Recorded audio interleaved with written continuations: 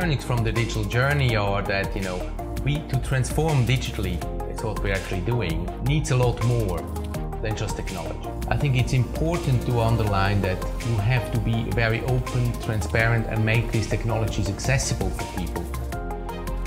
W obecnym czasie mamy już zupełnie inne możliwości, które oferuje nam właśnie internet rzeczy.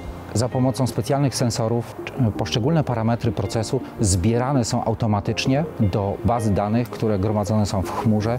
Dzięki niej mamy natychmiastowy dostęp do tychże, nie musimy czekać na ich analizę. Możemy natychmiast podejmować decyzje, obserwując w sposób zapobiegawczy, czy proces przebiega w sposób kontrolowany, czy też zaczyna odbiegać od standardowego przebiegu procesu opisanego w procedurach. Digitalizacja procesów finansowych w ostatnim czasie spowodowała, że ilość danych jest znacząco większa niż jeszcze kilka lat temu i nasze zadanie w finansach to jest takie przetwarzanie tej informacji, aby stanowiła wartość dla firmy, żeby można było ją wykorzystać do codziennego procesu zarządzania.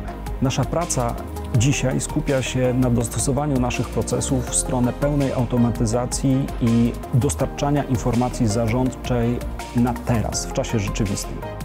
Zdecydowanie wydaje mi się, że właśnie to, co obserwujemy w ostatnich latach, to to, że technologie pozwalają nam realizować znacznie bardziej rozległe geograficznie projekty, pozwalają nam angażować e, koleżanki i kolegów z różnych miejsc. Jest to w pełni e, multimedialne działanie projektowe. Rozwiązania te również pozwalają nam w prosty sposób komunikować z dużymi grupami osób.